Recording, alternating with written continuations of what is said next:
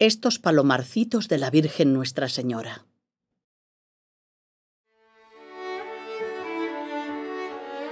Todas mis fundaciones fueron con grandes trabajos de caminos, fríos, soles, nieves y hartos males y calenturas, porque de ordinario tenía yo poca salud. Nunca dejé fundación por miedo del trabajo, aunque de los caminos sentía gran contradicción mas en comenzándolos a andar, me parecía poco, considerando que en aquella casa se había de alabar el Señor y haber santísimo sacramento. Era particular consuelo para mí ver una iglesia más y ver en el coro almas tan limpias alabando a Dios, tan contentas en tanto encerramiento, soledad y mortificación. Los carros y posadas eran como pequeños monasterios. Íbamos siempre en carros muy cubiertas y en las posadas tomábamos un aposento, bueno o malo como le había, y a la puerta tomaba una hermana lo que habíamos menester, que ni los que iban con nosotras entraban allá. No nos faltaba agua bendita, un niño Jesús, un reloj de arena y una campanilla. Cuando se tañía silencio, todos, frailes, clérigos o seglares y los mozos habían de callar. Y cuando se hacía señal para poder hablar, había que ver la alegría de los recueros. Yo hacía que les diesen algo más de comer por haber callado. Entre otros, solían acompañarnos mis incondicionales, Julián de Ávila, capellán de San José de Ávila, y Antonio Gaitán, un caballero de Alba, amigo mío, que tenía el mundo debajo de los pies. No había criado de los que iban con nosotras que trabajase como ellos. Su trato por los caminos era tratar de Dios y enseñar a los que iban con nosotras y encontraban.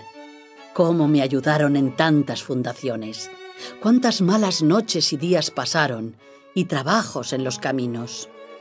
En llevar condiciones de muchas personas que era menester en cada pueblo, no se trabajaba poco. Y en dejar las hijas y hermanas mías cuando me iba de una parte a otra, como yo las amaba tanto, cómo sufría al pensar que no las había de tornar a ver y veía su gran sentimiento y lágrimas. Su Majestad nos ampare y favorezca para que no se pierda lo que comenzó en unas mujeres tan miserables.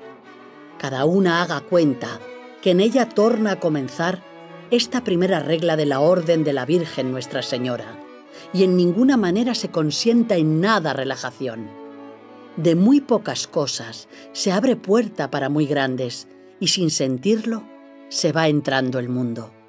Estas casas no las han fundado hombres, sino la mano poderosa de Dios, que es muy amigo de llevar adelante las obras que Él hace, si no queda por nosotras. ¿De dónde pensáis que tuviera poder una mujercilla como yo para tan grandes obras? De todas cuantas maneras lo queráis mirar, entenderéis ser obra suya Bendito sea el que todo lo hizo y despertó la caridad de las personas que nos ayudaron.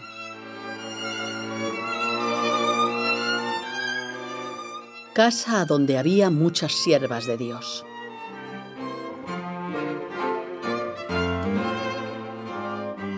Ávila de los Caballeros, mi ciudad. ¿Cuántas veces atravesé la puerta del Carmen? En los cuatro postes me alcanzó mi tío con mi hermano Rodrigo, cuando a mis cinco años quise ir a tierra de moros a que nos descabezasen por Cristo. Y mi monasterio de la Encarnación, donde se dijo la primera misa el mismo día que me bautizaron en la parroquia de San Juan. Cuando veinte años después, un día de ánimas de 1535, entré por su puerta, gusté un contento que ya nunca me faltó. Era Carmelita, hija de la Virgen. Pero después gasté mucho tiempo en pláticas inútiles en aquellos locutorios, donde Jesús me reprendía dulcemente, hasta que un día me dijo, ya no quiero que tengas conversación con hombres, sino con ángeles.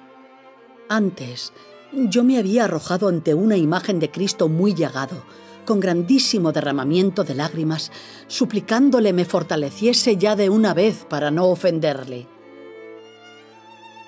Desde entonces Quedó perfumada de Cristo mi alma y empapada de él mi celda. Aquella celda que hasta tenía cocina y donde yo leía, rezaba, trabajaba, descansaba y recibía a mis amigas monjas. Qué 27 años viví en aquella celda, tratando de amistad con quien sabemos nos ama. En esa celda harían mis hijas la capilla de la transverberación, porque allí un ángel muy hermoso me atravesó con un dardo de fuego el corazón, dejándome abrasada en amor grande de Dios. Ya toda me entregué y di, y de tal suerte he trocado que mi amado es para mí y yo soy para mi amado. Cuando el dulce cazador me tiró y dejó herida en los brazos del amor, mi alma quedó rendida, y cobrando nueva vida, de tal manera he trocado que mi amado es para mí y yo soy para mi amado. Tiróme con una flecha enervolada de amor y mi alma quedó hecha una con su criador. Ya yo no quiero otro amor, pues a mi Dios me he entregado y mi amado es para mí y yo soy para mi amado. Por aquellos claustros aprendí a ser monja. Mirando los anchos cielos de mi Castilla, cómo sentía yo ansias de infinito. Oyendo el bronce de la campana, Dios me repetía, Alma, buscarme has en ti, y a ti buscarte has en mí. Desde el principio fue ella, Nuestra Señora la Virgen Sacratísima, Santa María de la Encarnación, quien cobijó bajo su capa blanca mi vida de Carmelita. Salí de allí con 47 años a fundar San José y volví con 56 para ser priora, muy contra mi voluntad.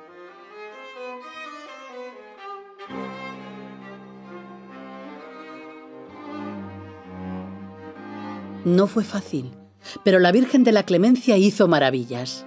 La nombré a ella priora, puse las llaves del monasterio en sus manos y la coloqué en la silla prioral del coro. Una noche, cantando con mis monjas la salve de completas, rodeada de ángeles, me dijo, Bien acertaste en ponerme aquí. Yo estaré presente a las alabanzas que hiciereis a mi hijo y se las presentaré.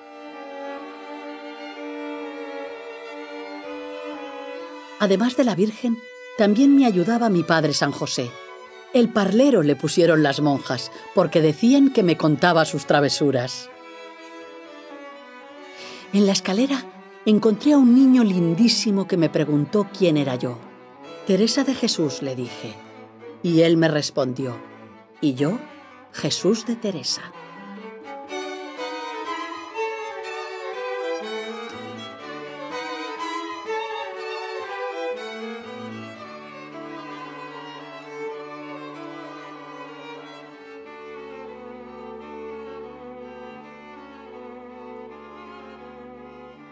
Muchas cosas del monasterio de la Encarnación tuve que reformar, orando y trabajando en la celda prioral.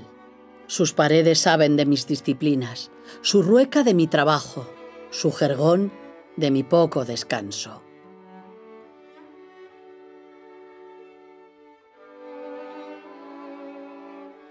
Aquella celda prioral, aún dicen mis monjas que huele a mí. También me gustaba amenizar las navidades y las fiestas caseras con música para que disfrutaran mis monjas. Para confesarlas y hacerlas santas, llevé a la encarnación a mi padre Fray Juan de la Cruz. Como era un hombre celestial y divino, hablando un día en el locutorio, nos extasiamos los dos.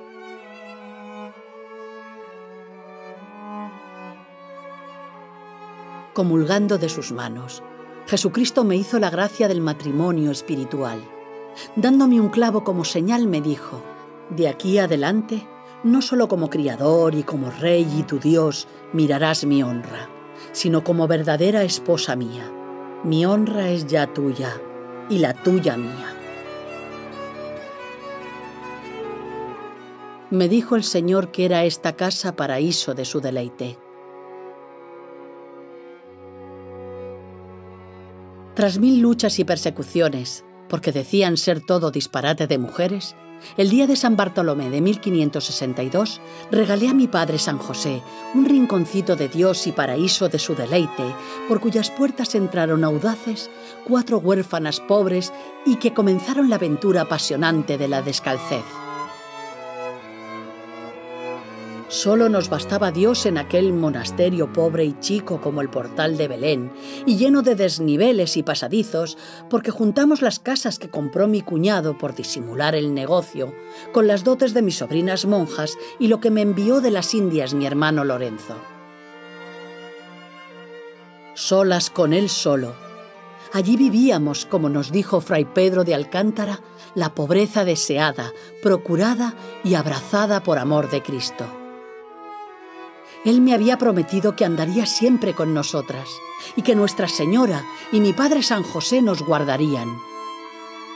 Yo enseñaba a mis hijas a hacer oración. Se representen delante de Cristo y se estén hablando y regalando con Él acallado el entendimiento. Mire que le mira y le acompañe, y hable y pida y se humille y regale con Él. Es muy buen amigo Cristo, porque le miramos hombre y vémosle con flaquezas y trabajos, y es compañía, y habiendo costumbre, es muy fácil hallarle cabe sí. Desierto quedó este señor de toda consolación, solo le dejaron en los trabajos, no le dejemos nosotros. Todos son recuerdos míos en San José. Allí sigo presidiendo el coro, y suenan mis risas por el claustro cuando todavía hoy repica el tañido de la campanita ronca que despertó a Ávila aquella mañana agosteña. No teníamos dinero para comprar otra mejor.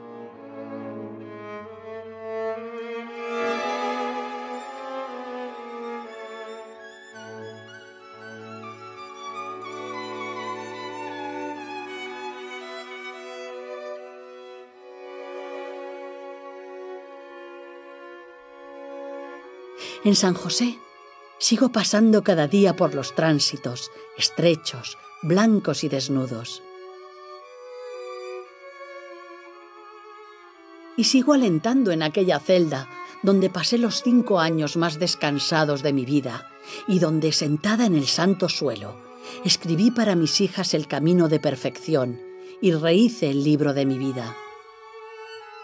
En San José hacía yo mi turno de cocina como todas y buen día me quedé arrobada con la sartén en la mano, mas quiso Dios que no derramase el poco aceite que teníamos. Yo decía a mis monjas que también entre los pucheros anda el Señor.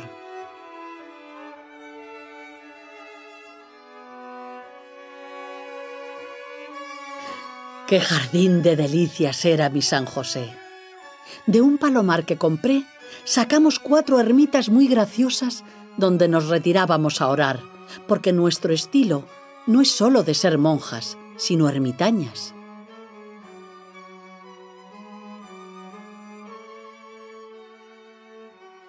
En una de ellas hice pintar a Cristo, tal como yo lo había visto, a la columna, pensando las penas que allí tuvo, y por qué las tuvo, y quién es el que las tuvo, y el amor con que las pasó.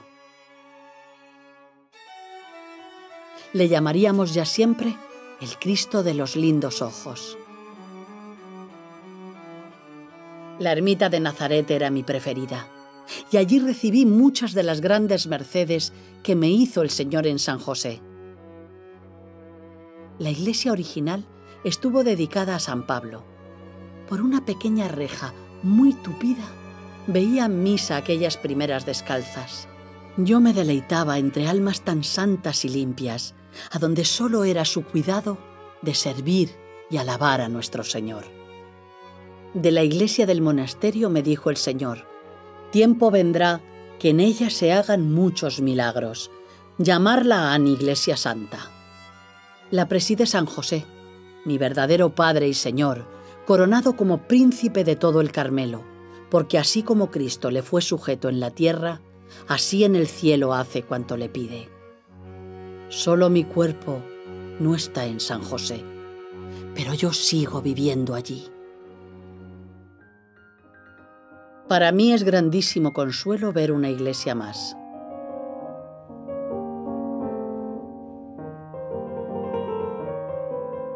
El padre Rubeo, general de los Carmelitas, prendado del espíritu que vio en San José de Ávila, me mandó hiciese tantos monasterios como pelos tenía en mi cabeza y decidí comenzar por Medina del Campo, villa muy principal. Aun sin tener blanca, en 1567 hice comprar allí una casa, y llegamos la víspera de Nuestra Señora de Agosto a medianoche. Si hubiéramos sabido que aquella hora encerraban toros. El portal harto caído estaba, pero la noche era corta y buscando clavos por las paredes comenzamos a entapizarlas y a limpiar el suelo con tan buena priesa que al amanecer ya estaba en el altar y la campanilla que, al punto del alba del día de la Asunción, se deshacía tañendo. Como los que entraban llamaban a sus vecinos, se llegó tanta gente que no cabía. Nosotras nos metimos en una escalera que subía al único lienzo del corredor que estaba en pie, y desde unas resquicias de una puerta veíamos misa. Aquel sería también nuestro locutorio y nuestro confesionario. Mi consuelo al ver una iglesia más a donde había Santísimo Sacramento poco me duró, pues cuando miré mejor el patio y vi a Su Majestad puesto en la calle con el peligro de los luteranos, qué congoja vino a mi corazón. Algunos hombres velaban el Santísimo Sacramento y yo me levantaba a mirarlo por una ventana con el sobresalto de los herejes. Con todo, a la mucha gente que venía, no solo no les parecía mal, sino poníales devoción de ver a nuestro Señor otra vez en el portal. Cuando se reconstruyó la casa, empezaron a entrar novicias, que parece las escogía el Señor cuales convenía para cimiento de semejante edificio yo les decía, los ojos en vuestro esposo, Él os ha de sustentar. No le faltéis vosotras y no hayáis miedo que falte. La pobreza es un bien que todos los bienes del mundo encierra en sí. Quien no se le da nada de ellos, se enseñorea sobre todos. No ha menester contentar a nadie, sino a Él, y es cosa muy cierta, en no habiendo menester a nadie, tener muchos amigos. Yo lo tengo visto por experiencia. Muy mal parece que de la hacienda de los pobrecitos se hagan grandes casas. No lo permita Dios, sino pobrecita en todo y chica. Parezcámonos en algo a nuestro rey, que no tenía casa, sino en el portal de Belén fue su nacimiento. A trece pobrecillas cualquier rincón les basta.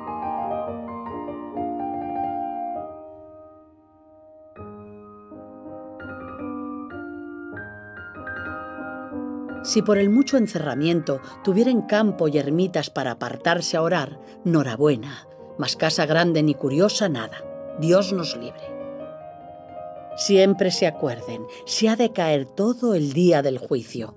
¿Qué sabemos si será presto?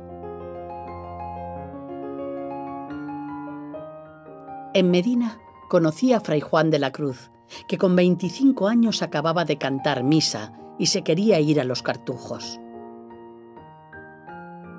Para fundar los Carmelitas Descalzos, ya tanado a Fray Antonio de Heredia, y rogué mucho a Fray Juan que esperase, pues contentóme mucho. Con dos frailes para comenzar, parecióme estaba hecho el negocio. Y dije a mis monjas del Santico de Fray Juan, he hallado un varón según el corazón de Dios y el mío.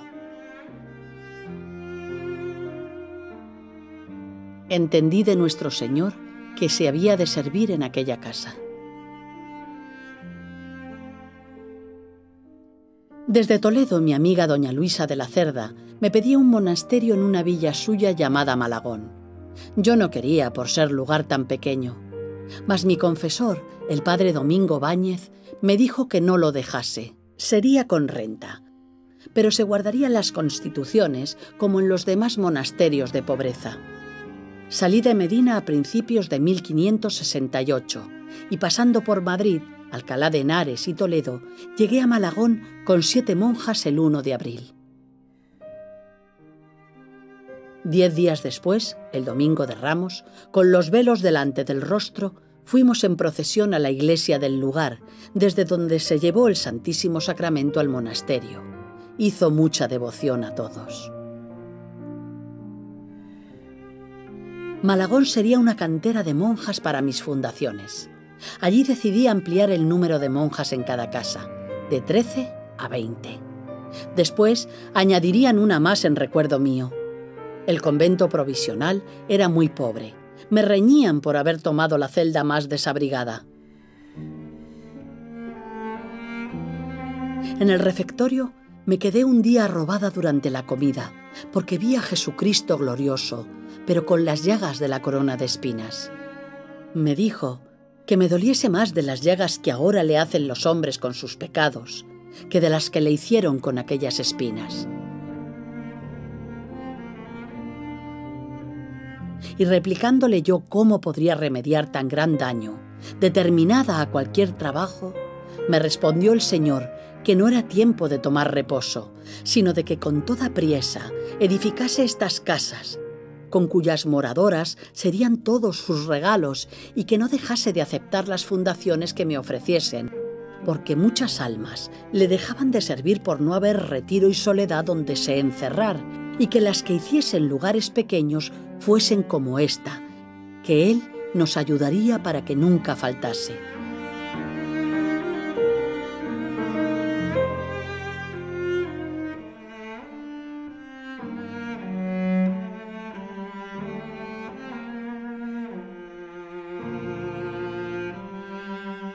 Un día, después de comulgar, entendí de nuestro Señor que se había de servir en aquella casa.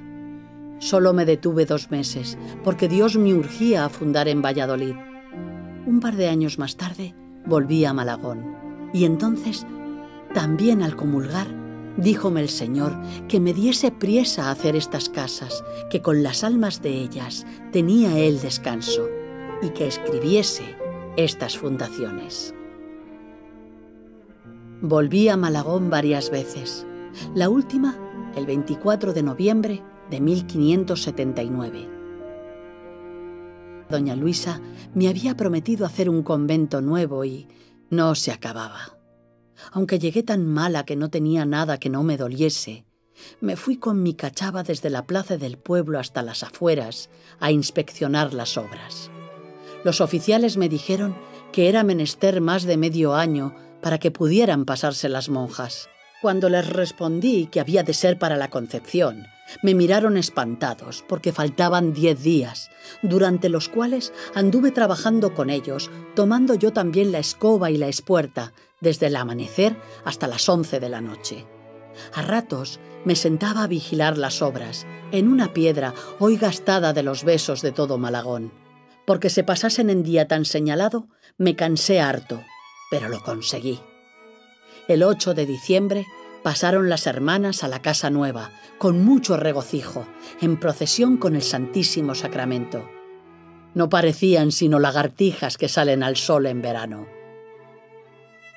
Buscando terreno para esta casa y llegando a un olivar, dije yo años atrás, no hay que pasar de aquí, que este lugar tiene Dios elegido para mi convento. Entonces vi posarse sobre un olivo una palomica blanca muy graciosa. Por eso, en la hermosa iglesia que se labró en Malagón, se reservó el lugar de aquel olivo para el sagrario, donde está su divina majestad.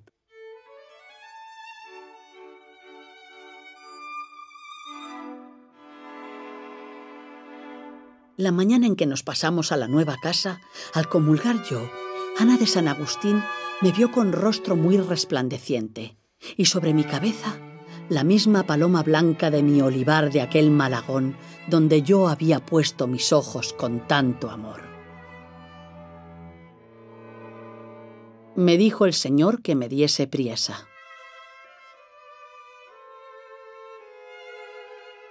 Don Bernardino de Mendoza, hermano del obispo de Ávila, me ofreció una casa muy buena junto al río, para fundar en Valladolid. Aunque no muy convencida porque estaba lejos de la ciudad, no quise estorbar su devoción. Pero él murió sin tiempo de confesarse. Díjome el Señor que había tenido misericordia de su alma por el servicio que había hecho a su madre en dar aquella casa, pero que no saldría del purgatorio hasta la primera misa que allí se dijese. Yo me di toda la priesa que pude y llegué a Valladolid el día de San Lorenzo de 1568.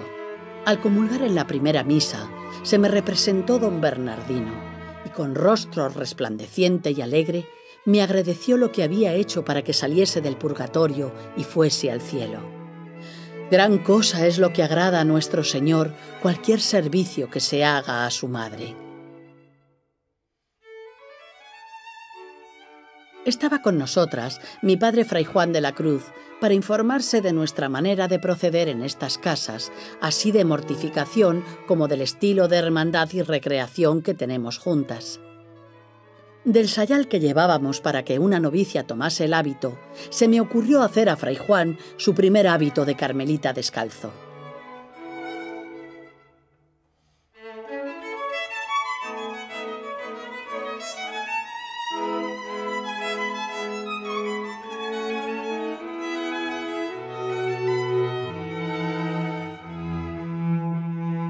El día de la Asunción se tomó la posesión, pero caímos casi todas muy malas porque el lugar era insano. Doña María de Mendoza, hermana de don Bernardino, nos compró otra casa. Mientras pasamos la Navidad en la suya. Yo hice una plática a las monjas sobre las lágrimas del niño, la pobreza de la madre, la dureza del pesebre, el rigor del tiempo y las descomodidades del portal. Salieron todas consoladas y alegres, desafiando y llamando a voces los trabajos.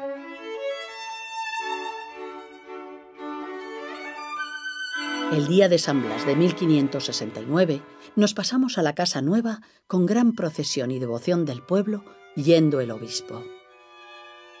El Señor comenzó a llevar almas muy santas como Beatriz de la Encarnación, que daba bien a entender el gozo interior que traía su alma un callar sin pesadumbre, nunca una palabra que hubiese que reprender, ni una porfía, ni una disculpa, ni una queja, ni un disgusto. Siempre traía en la boca alabanzas de Dios, perpetua oración y grandísima caridad con los prójimos. Sus terribles enfermedades y dolores los padecía con tan gran contento, como si fueran grandes regalos y deleites, con gran humildad y mortificación. Al morir, sonrió y con los ojos en el cielo, expiró, quedando como un ángel. Cómo vivían mis hijas lo que yo había querido enseñarles, escribiendo para ellas el camino de perfección. Cuando considero esta fundación, me espantan las trazas de Dios.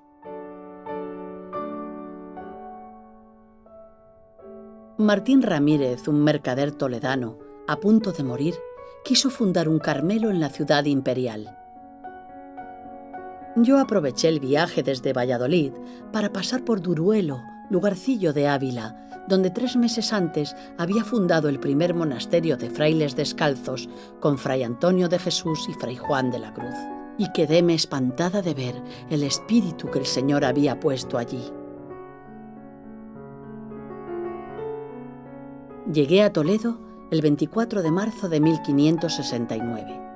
Doña Luisa, la fundadora de Malagón, nos acogió en su casa.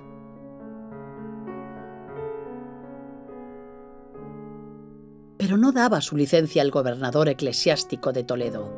Como había de ser mucha nota irme sin fundar, me determiné a hablarle. Díjele que era recia cosa que hubiese mujeres que querían vivir en tanto rigor y perfección y encerramiento, y que los que no pasaban nada de esto, sino que se estaban en regalos, quisiesen estorbar obras de tanto servicio de nuestro Señor. Esta determinación grande que me daba el Señor le movió el corazón y antes que me quitase de con él, me dio la licencia. Yo me fui muy contenta, que me parecía ya lo tenía todo, sin tener más que tres ducados con que compré dos lienzos de Cristo. Un mancebo, llamado Andrada, harto pobre, me aseguró ayudarme cuanto pudiese, aunque solo con su persona podía.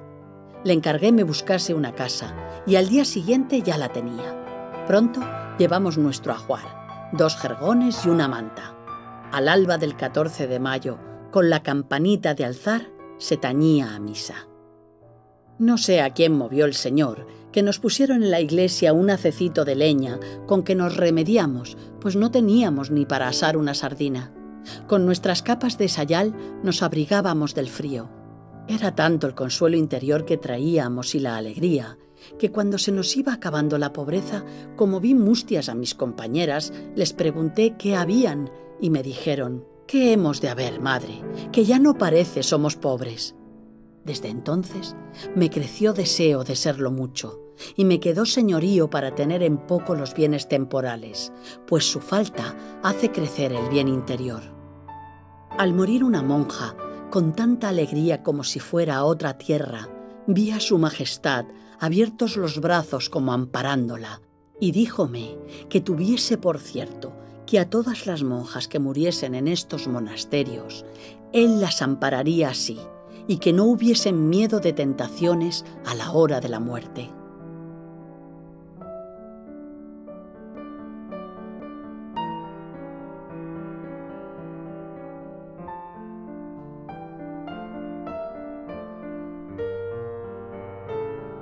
Harto me consoló que, la misma mañana en que se dijo la primera misa, entró en la iglesia una niña que exclamó, Bendito sea Dios y qué lindo está esto.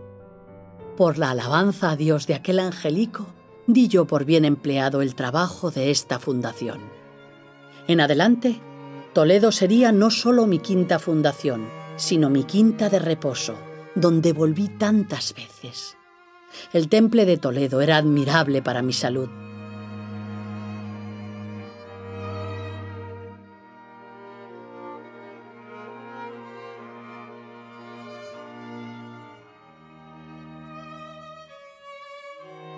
Allí donde había yo escrito el libro de mi vida, lo revisé, porque había sido recogido por la Inquisición, y escribí la segunda redacción del Camino de Perfección, y la primera parte de mi castillo interior que acabé en Ávila, y el modo de visitar los conventos, y muchas de estas fundaciones, y un sinfín de cartas.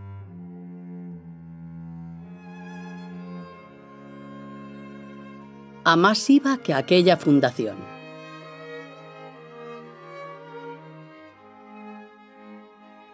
La princesa de Éboli me pidió fundar en Pastrana. Yo no quería, mas me dijo nuestro señor que no dejase de ir, que a más iba que aquella fundación. Como mi confesor lo confirmó, salí de Toledo el 30 de mayo de 1570.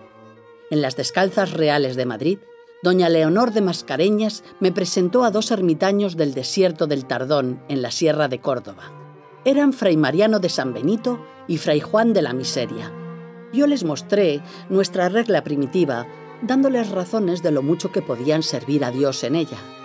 Como el príncipe Ruy Gómez les había dado una buena ermita en Pastrana, quisieron ser allí carmelitas. Mediado junio llegué a Pastrana, donde estuve un mes largo pasando hartos trabajos, por pedirme la princesa cosas tan extravagantes que estuve a punto de no fundar allí. Ruy Gómez amainó a su mujer yo aguantaba porque deseaba más el monasterio de los frailes que el de las monjas. Para ello, llamé a Fray Antonio de Jesús a Mancera, y él dio el hábito a los nuevos descalzos y comenzaron a entrar novicios.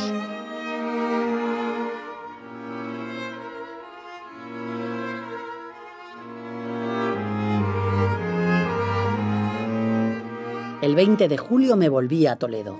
En Pastrana puse por priora a la prudente Isabel de Santo Domingo. Cuando murió el príncipe, a la princesa se le ocurrió entrar monja. Como la priora no podía darle las libertades que quería, inquietó de tal manera a las pobres monjas que yo procuré quitasen de allí el monasterio, fundándose uno en Segovia, a donde se pasaron, dejando cuanto les había dado la princesa. Pero en sus vengativas manos quedó el libro de mi vida, que sirvió de comedia entre sus criadas y de tragedia en la Inquisición.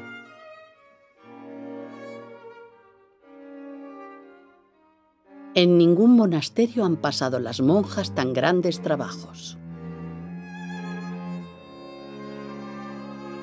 El rector de la Compañía de Jesús de Salamanca quería allí un monasterio, así que hice alquilar una casa de la que deberían salir unos estudiantes y me partí para allá con María del Sacramento.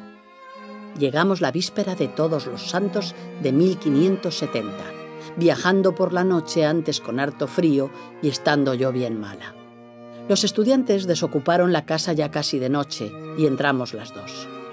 Era muy grande y desbaratada y con muchos desvanes, y mi compañera creía que como los estudiantes se habían enojado de tener que dejarla, alguno se había escondido en ella.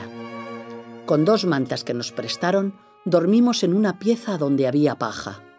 María del Sacramento inquieta, díjome, Madre, estoy pensando, si ahora me muriese yo aquí, ¿qué haríais vos sola?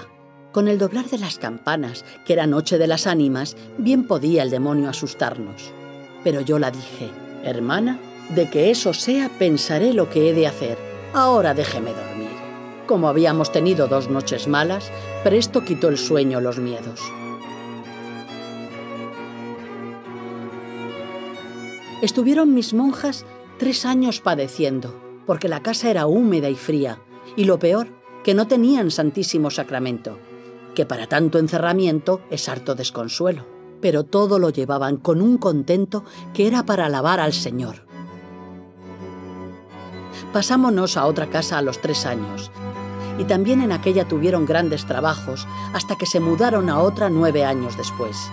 Y aún no sería la última.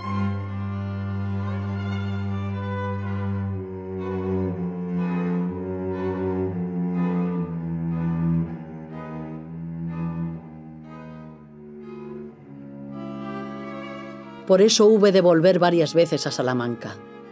Un domingo de ramos que pasé allí, al comulgar, me pareció que toda la boca se me había henchido de sangre, y parecíame estar toda yo cubierta de ella, como que entonces acababa de derramarla el Señor.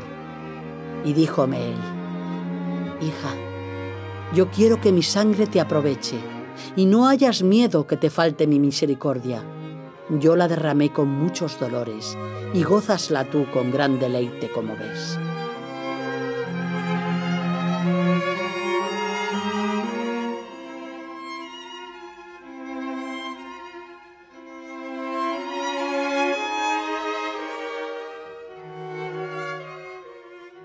También fue en Salamanca, donde quedé arrobada un día de Pascua al oír cantar a la novicia Isabel de Jesús, la de la linda voz, unas coplitas que decían así.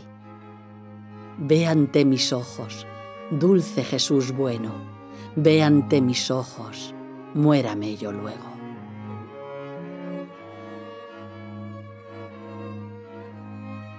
Pues Dios no era servido de darles hijos, hicieron un monasterio.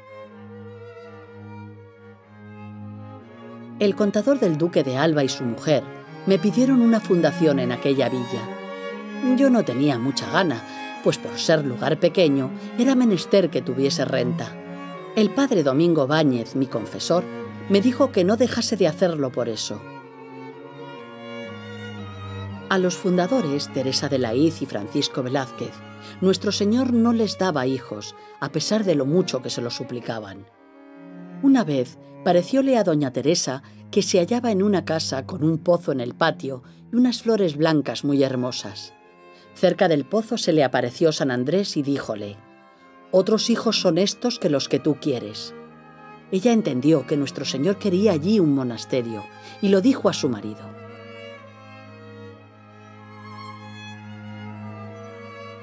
Estando en ello, compraron una casa en Alba de Tormes. Al entrar en el patio, doña Teresa vio el pozo donde había visto a San Andrés. Entonces compraron más casas juntas para hacer allí el monasterio.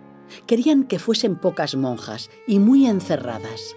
Lo trataron conmigo, dieron bastante renta y hasta dejaron su propia casa para darnos.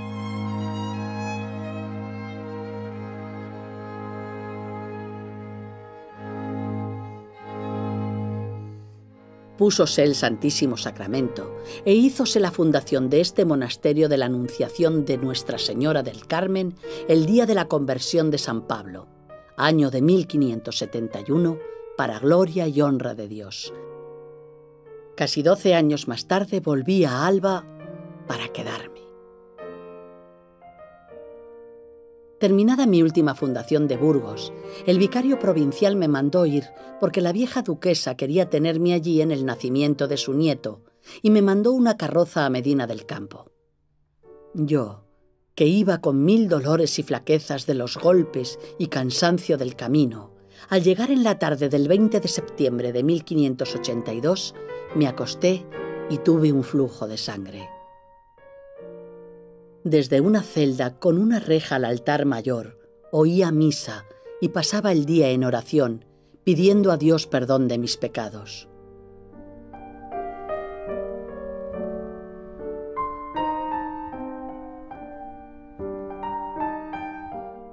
Allí dije a mis monjas, hijas mías y señoras mías, tengan gran cuenta con la guarda de su regla y constituciones, que si las guardan con la puntualidad que deben, no es menester otro milagro para canonizarlas, ni miren el mal ejemplo que esta mala monja les ha dado, y perdónenme por amor de Dios.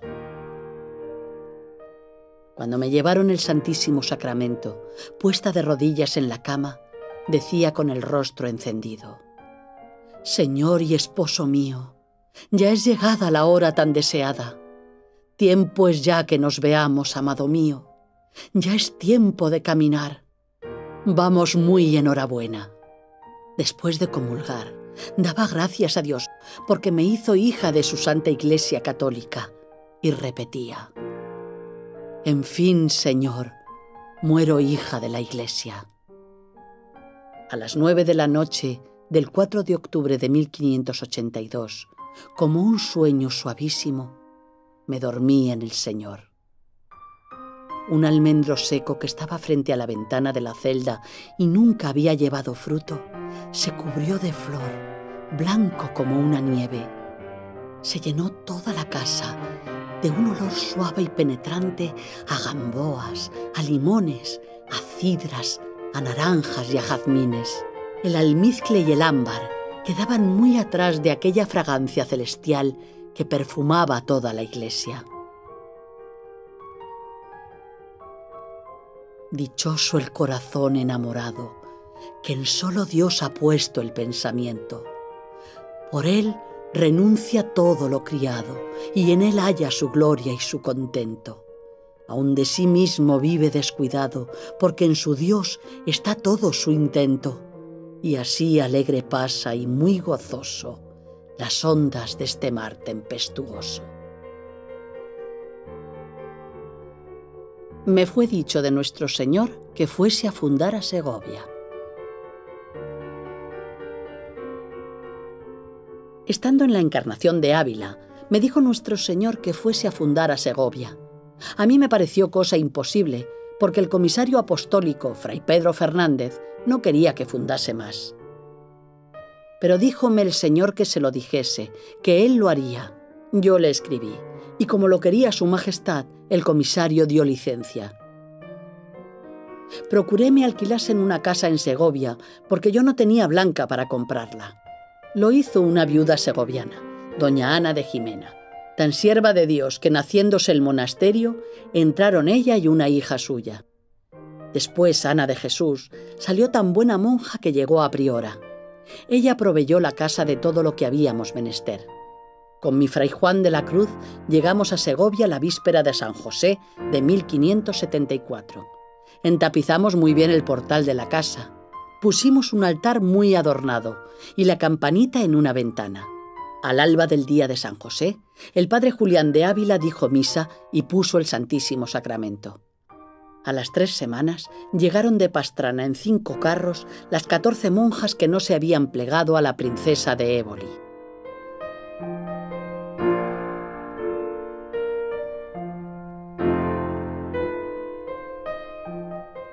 Como el obispo había dado licencia solo de palabra, el provisor, muy enojado, nos quitó el Santísimo Sacramento.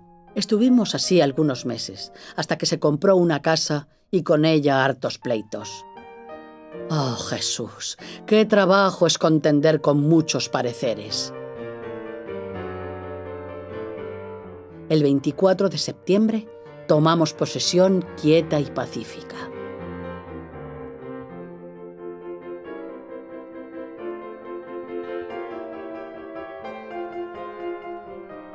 Aunque estuve muy enferma el medio año que pasé allí en Segovia escribí algunos pedazos de mis meditaciones del Cantar de los Cantares. Como no tenía tiempo de día, lo hacía de noche, y algunas monjas atisbaban a la puerta de mi celda y se admiraban mucho porque escribía yo con harta priesa, sin detenerme a borrar ni a enmendar.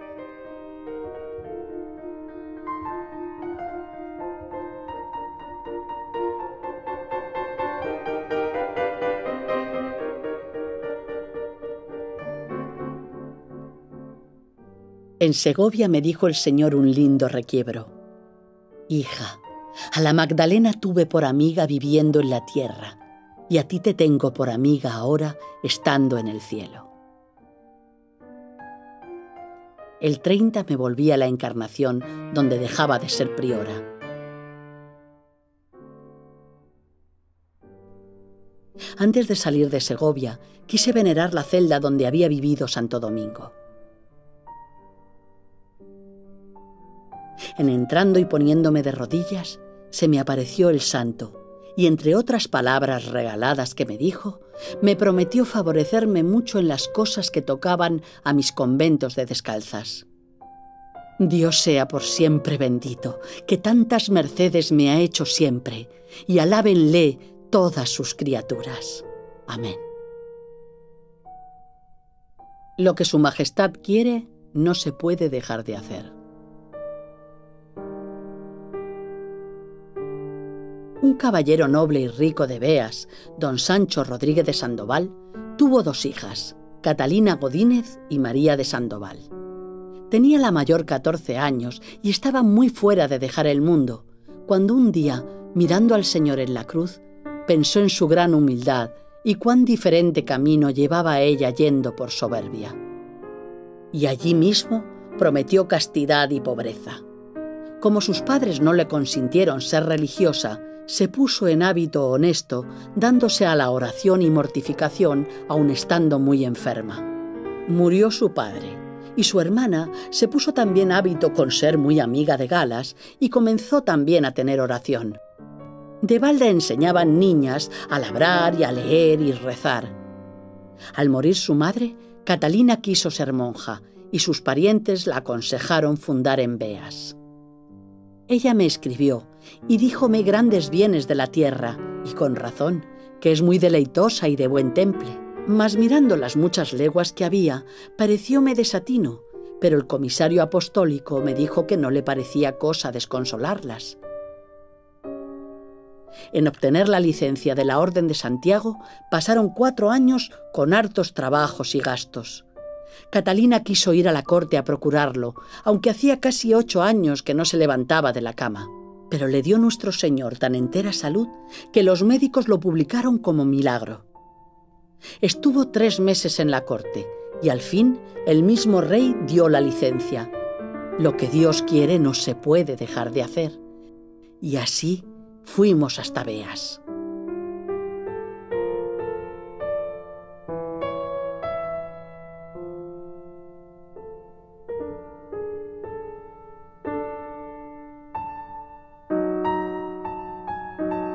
El pueblo nos recibió con gran solemnidad y alegría y procesión.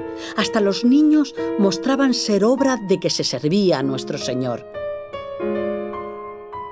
Fundóse este monasterio de San José del Salvador el día de Santo Matías del año de 1575 y tomaron hábito las dos hermanas con gran contento.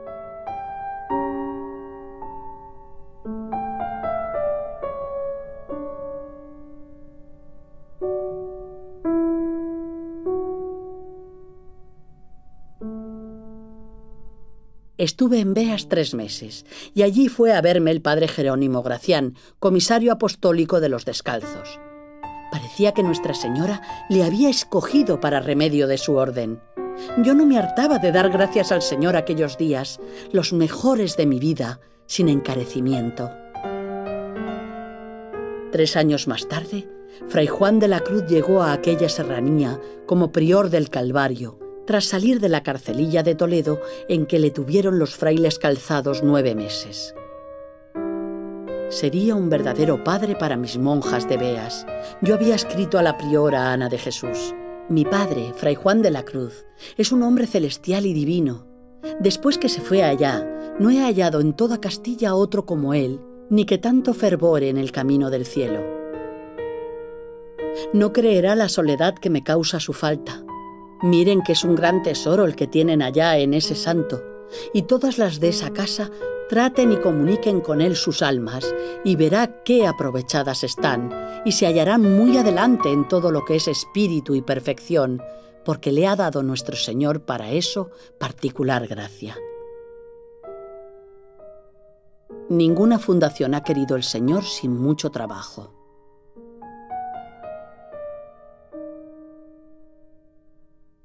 Al padre Gracián le parecía muy fácil fundar en Sevilla, porque se lo habían pedido algunas personas y creía dar gusto al arzobispo.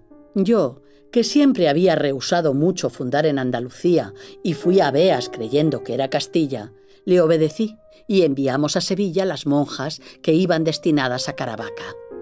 Tardando nueve días desde Beas, llegamos a Sevilla el 26 de mayo de 1575, habiendo pasado grandísimo calor en el camino.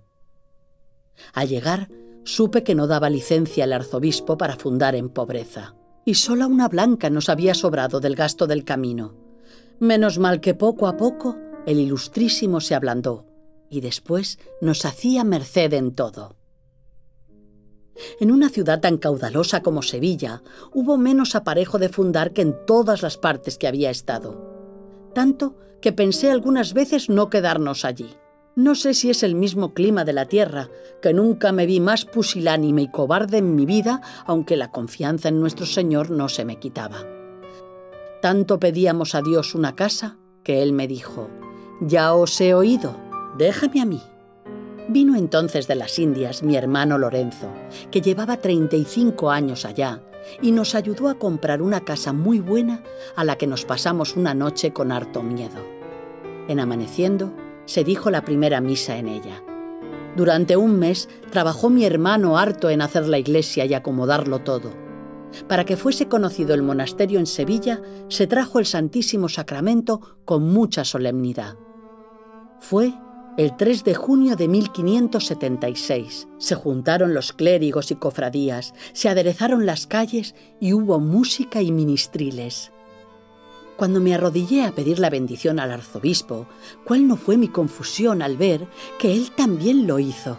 Mire qué sentiría cuando viese un tan gran prelado arrodillado ante esta pobre mujercilla, sin quererse levantar hasta que le echase la bendición en presencia de todas las religiones y cofradías de Sevilla. Qué consuelo me dio dejar a las hermanas en casa tan buena.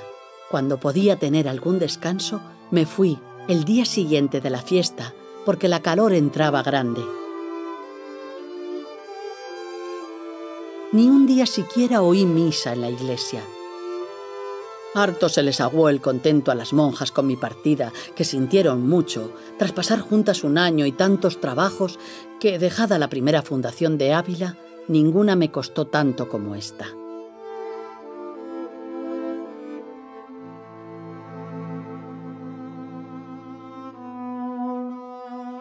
Para consolarlas, el padre Gracián me mandó dejarme retratar por Fray Juan de la Miseria, Tan mal lo pasé que cuando vi el cuadro acabado le dije, Dios te lo perdone, Fray Juan, que ya que me pintaste, me has pintado fea y legañosa. Otra reliquia tienen mis hijas de Sevilla, mi autógrafo de las moradas, donde está toda mi alma. Allí está desde 1618, como relicario de plata y lapislázuli, las murallas de mi Ávila, la fortaleza visible de mi castillo interior.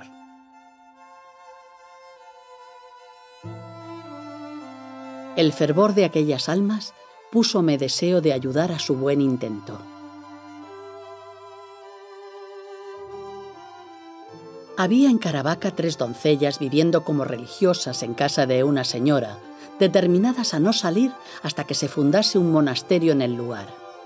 Yo, como vi el fervor de aquellas almas y que de tan lejos iban a buscar la orden de Nuestra Señora, hízome devoción y púsome deseo de ayudarlas.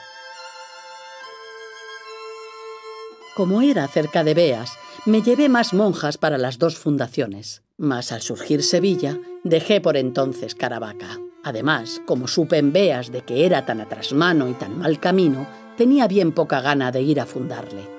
Mas pedí al padre Julián de Ávila y a Antonio Gaitán fuesen allá para verlo.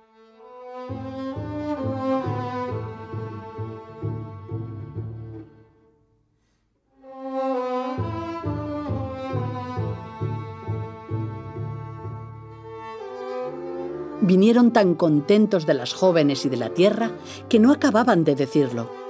Como ir yo era imposible, acordó el padre Gracián que fuesen las monjas que allí habían de fundar.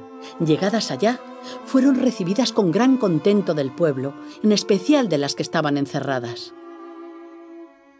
Fundaron el monasterio poniendo el Santísimo Sacramento el día del nombre de Jesús, año de 1576.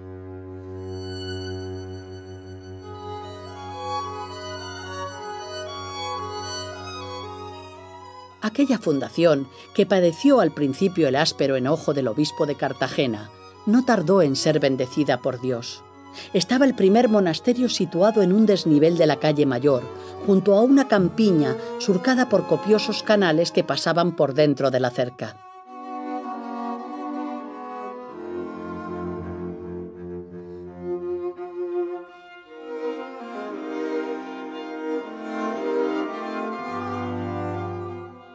Yo, como nunca fui, escribí a la priora. Gran consuelo me ha dado que sea tan fresca la casa.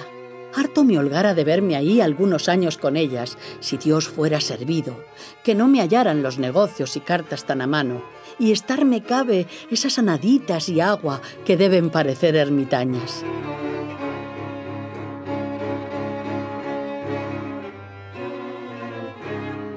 No lo merezco, mas harto me alegro que lo goce vuestra reverencia por mí. Sepa que no pensé que la quería tanto.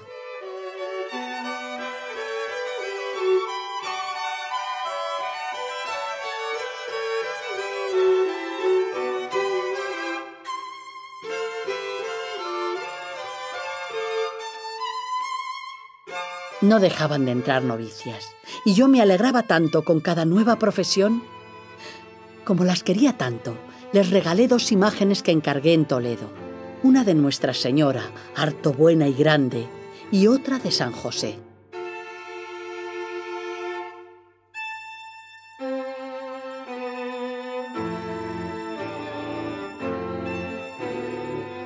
Pero el regalo más grande que les hice fue procurar que mi padre Fray Juan de la Cruz fuera allá a confesarlas, como escribía la priora hagan cuenta que soy yo.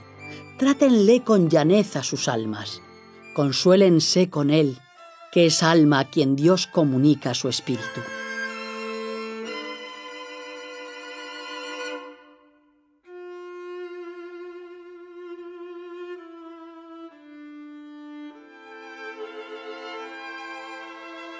Me dijo Su Majestad que no dudase de admitir esta casa.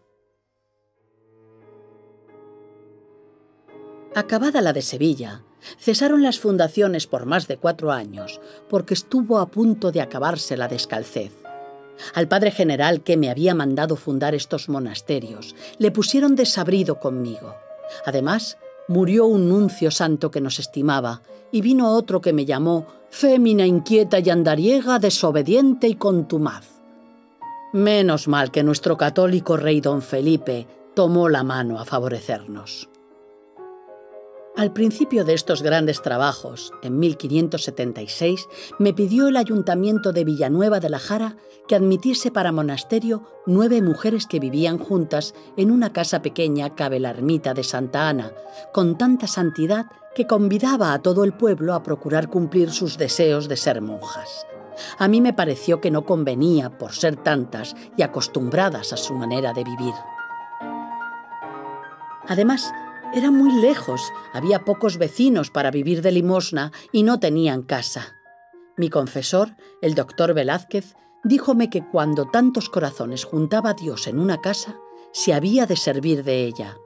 Yo ni lo admití del todo, ni lo despedí. Y así se pasaron cuatro años. Acabando un día de comulgar, me hizo Su Majestad una gran reprensión diciéndome, Teresa, con pobres pescadores, fundé yo mi iglesia. Entonces me pesó estar tan asida a razones humanas, y determiné ir yo con dos monjas de Toledo y dos de Malagón, de donde partimos el 13 de febrero de 1580 con muy buen tiempo. Yo iba con mucha salud, pues cuando se sirve al Señor, Él hace de los flacos fuertes y de los enfermos sanos. ¿Para qué es la vida y la salud, sino para perderla por tan gran Rey y Señor? Fue un viaje triunfal. Acudía tanta gente a verme que no me podía valer. Hasta me llevaban el ganado para que se lo bendijese. Llegamos el 21 de febrero de 1580 a Villanueva de la Jara. Salió a recibirnos el ayuntamiento y todo el pueblo, que me hizo harta consolación ver, con el contento que recibían, la orden de la Sacratísima Virgen, Señora nuestra.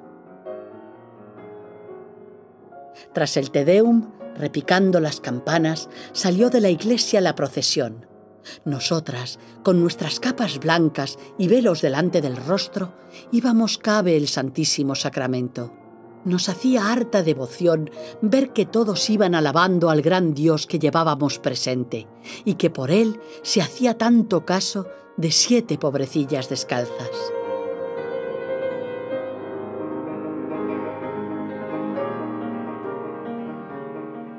Después que traté a las nueve doncellas y vi su santidad, las tuve por muy mayor tesoro que si tuvieran mucha renta.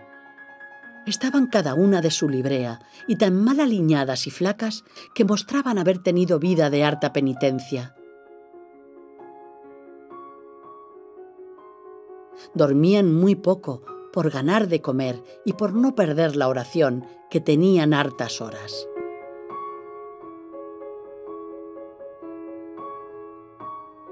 Rezaban el oficio divino y como no sabían leer, que pocas verdades debían decir.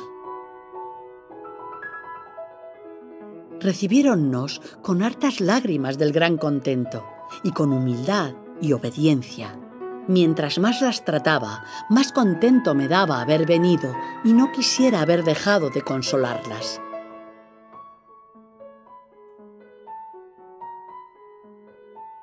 Mis compañeras estaban alegrísimas de quedar con ellas y las tenían mucho amor. Gran cosa puede la santidad y virtud.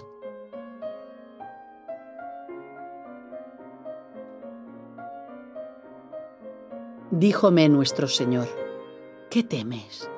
¿Cuándo te he yo faltado? Cuando don Álvaro de Mendoza pasó de obispo de Ávila a Palencia, quiso allí otro monasterio. Yo estaba comprometida a fundar en Burgos y había caído con el catarro universal que asoló España aquel año. Me sentía muy cansada y atada por la enfermedad. Pero un día, al comulgar, díjome nuestro Señor, ¿qué temes? ¿Cuándo te he yo faltado? El mismo que he sido soy ahora. No dejes de hacer estas dos fundaciones. Oh gran Dios, y cómo son diferentes vuestras palabras de las de los hombres. Así quedé animada que todo el mundo no bastara a detenerme, y comenzó nuestro Señor a darme medios, y me determiné a ir con ser el tiempo recio, porque partí de Valladolid el día de Inocentes de 1580 un canónigo nos desembarazó la casa que habíamos alquilado y nos puso camas y regalos, porque el frío era mucho. Poco descansamos para poner el altar, pues casi en amaneciendo se dijo la misa del rey David, de quien yo soy devota. Éramos seis monjas, con Ana de San Bartolomé, mi enfermera y secretaria, desde que tres años antes me rompí el brazo izquierdo. Esa misma mañana el obispo fue a vernos y nos proveyó de muchas cosas. Todos estaban contentos, pues toda la gente es de la mejor masa y nobleza que yo he visto, y así cada día me alegré más de haber fundado allí. ¡Qué caridad hallé en Palencia! Quiso el obispo que estuviéramos junto a la ermita de Nuestra Señora de la Calle, porque en toda la comarca y ciudad es grande la devoción que se le tiene. Al demonio le pesaba, y a punto estuvimos de no ir, pero un día, al recibir el Santísimo Sacramento, entendí estas palabras. Esta casa te conviene. No entienden ellos lo mucho que soy ofendido allí, y esto será gran remedio. Se dieron prisa a comprarla y acomodarla los santos amigos de la Virgen. Fuimos en procesión un día de la octava del Santísimo Sacramento, con nuestras capas blancas y velos delante del rostro y candelas en las manos, a una parroquia que estaba cerca de la casa de Nuestra Señora, que la misma imagen vino también por nosotras, y de allí tomamos el Santísimo Sacramento y se puso en la iglesia con mucha música y solemnidad. Se juntó el cabildo con las órdenes y casi todo el lugar. Hizo harta devoción yo creo fue el Señor harto alabado aquel día en aquel lugar.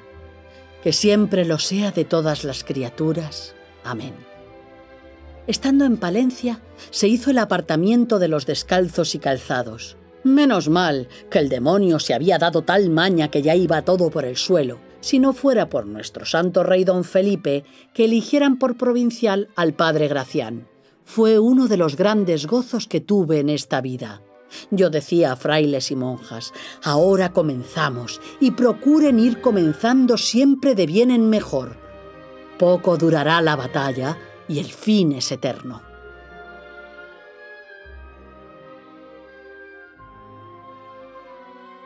Vine contenta por parecerme tierra donde espero Dios se ha de servir.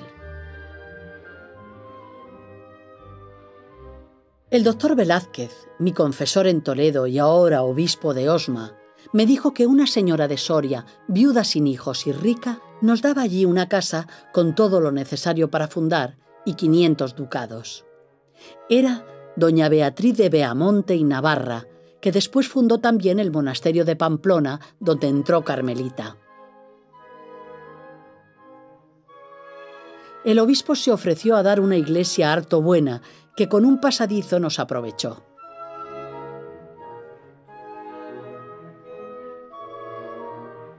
Con ocho monjas y mi enfermera Ana de San Bartolomé, llegué a Soria el 2 de junio de 1580. Desde una ventana de su casa, el obispo nos echó su bendición, que no me consoló poco, porque de prelado y santo tiénese en mucho. Estaba doña Beatriz esperándonos a la puerta de su casa que sería el monasterio. No vimos la hora de entrar en ella, porque era mucha la gente como siempre, pues el mundo es tan amigo de novedades. A no llevar velos delante del rostro sería trabajo grande. Tenía aquella señora aderezada una sala muy grande, a donde el día siguiente, 14 de junio, fiesta de nuestro Padre San Eliseo, se dijo la misa. Con doña Beatriz estuvimos recogidas dos meses, hasta que se hizo el pasadizo a la iglesia, cuyas obras yo misma dirigí.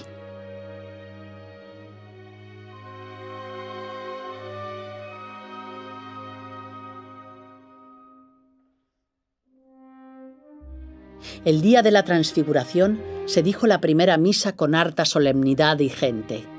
Esta fundación fue con menos trabajo y yo quedé contenta por parecerme tierra a donde esperaba que Dios sería servido. Sea para siempre bendito y alabado por todos los siglos de los siglos.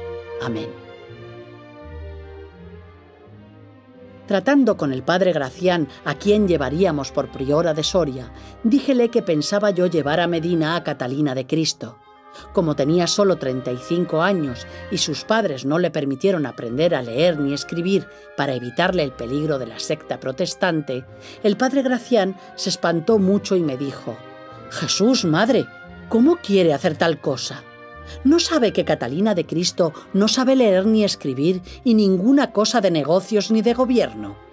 Yo le respondí, Calle, mi padre, que Catalina de Cristo sabe amar mucho a Dios y es muy gran santa y tiene un espíritu muy alto y no ha menester saber más para gobierno.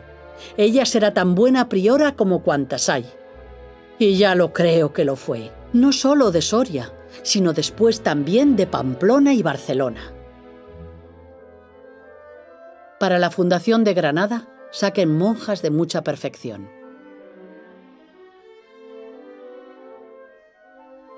Como ocurrió en Caravaca, tampoco a Granada pude ir. Ni siquiera me dio tiempo a ponerla en el libro de mis fundaciones, pues fue en el último año de mi vida. Acababan de hacerme priora mis hijas de San José de Ávila, y allí estaba yo cuando a últimos de noviembre de 1581 llegó mi fray Juan de la Cruz desde Granada, con patente del vicario provincial de Andalucía y cabalgaduras y recaudo para llevarme a fundar allí con todo regalo y cuidado.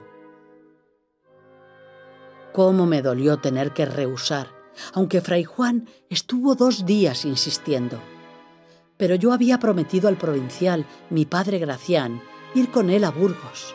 Le ofrecí dos monjas de Ávila para que se unieran a las fundadoras en Beas, a donde llegaron el 8 de diciembre, para salir todas juntas el 15 de enero de 1582 con Ana de Jesús, la capitana de mis prioras, que sería después fundadora en Madrid, París y Flandes y gran defensora de mi espíritu.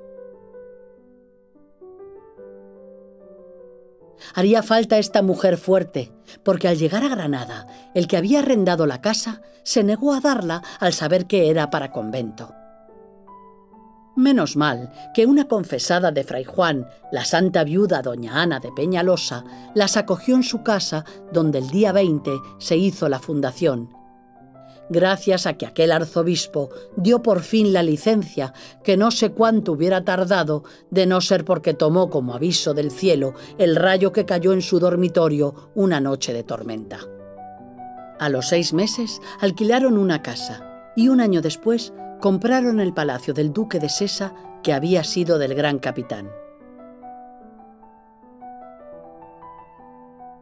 En Granada estuvieron mis hijas muy bien atendidas por Fray Juan de la Cruz, que era allí prior de los mártires, cabe la Alhambra, desde donde a diario bajaba a celebrarles misa en una pieza de los desvanes de la casa.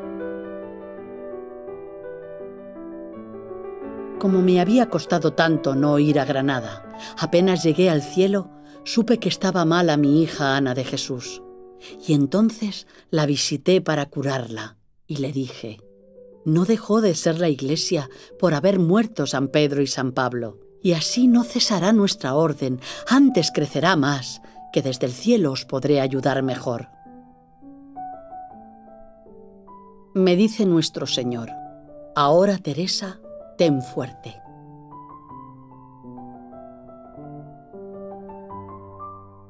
Hacía años me pedían una casa en Burgos, mas con las otras fundaciones no había habido lugar. En 1580, el obispo de Palencia, don Álvaro de Mendoza, pidió la licencia al arzobispo de Burgos, don Cristóbal Vela. Él dijo la daría muy de buena gana y escribióme lo que deseaba mi ida con mucho amor por mis enfermedades y los fríos y nieves de Burgos, me pareció temeridad andar tan largo camino. Pero díjome el Señor, no hagas caso de esos fríos, que yo soy la verdadera calor. El demonio pone todas sus fuerzas por impedir aquella fundación. Ponlas tú de mi parte porque se haga, y no dejes de ir en persona, que se hará gran provecho. El 24 de enero de 1582 salimos de Palencia ocho monjas y el padre Gracián con nosotras por estar yo tan vieja y enferma. Los caminos estaban tales de agua que hubo que ayudar a sacar los carros de los trampales. Fue harto atrevimiento salir, pero nuestro Señor me dijo que no temiese, que Él sería con nosotros. Esto consolábame a mí en los grandes trabajos y peligros que nos vimos, en especial un paso que hay cerca de Burgos, que el agua sobrepujaba los pontones tanto que ni se veía por dónde ir. Era gran temeridad pasar por allí con carros, y el mío se vio en peligro. Cuando llegamos a Burgos, las calles iban como ríos.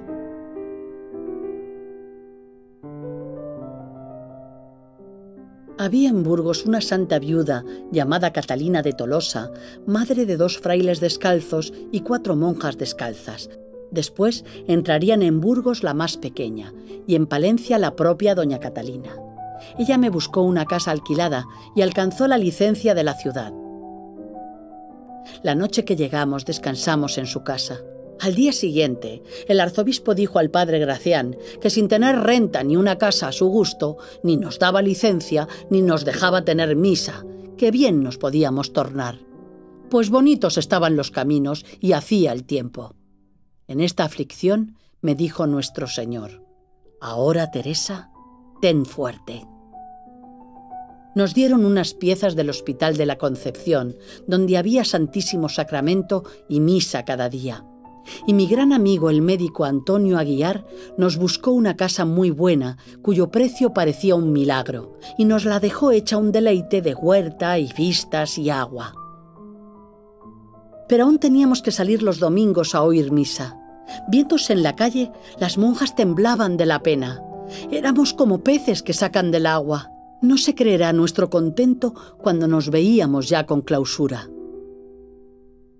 A las monjas que desearen salir entre seglares, piensen que se les ha escondido el esposo, pues ellas no se contentan de estarse con él. Al fin, el arzobispo dio licencia para poner el Santísimo Sacramento y se dijo la misa el 19 de abril de 1582 con mucha solemnidad. El día siguiente, el Ilustrísimo dio el hábito a Helenita de Jesús, hija de Catalina de Tolosa, y en el sermón, con muchas lágrimas, de lo que nos había hecho padecer. Un mes después, creció tanto el río y vino tanta agua a la ciudad que los muertos desenterraba y las casas se hundían. Y la nuestra era la que más peligro tenía por estar en un llano y más cerca del río. A cada ondeada se meneaba la casa como que se iba a caer. Los del lugar, viendo el peligro, nos dieron voces para sacarnos con barcas, pero yo no quise. Hice poner el Santísimo Sacramento en una pieza alta, donde nos recogimos todas diciendo letanías. Desde las seis de la mañana hasta medianoche, estuvimos en este peligro sin comer ni sosegar pereciéramos si no entraran unos nadadores que quebraron las puertas de la casa y empezó a salir agua.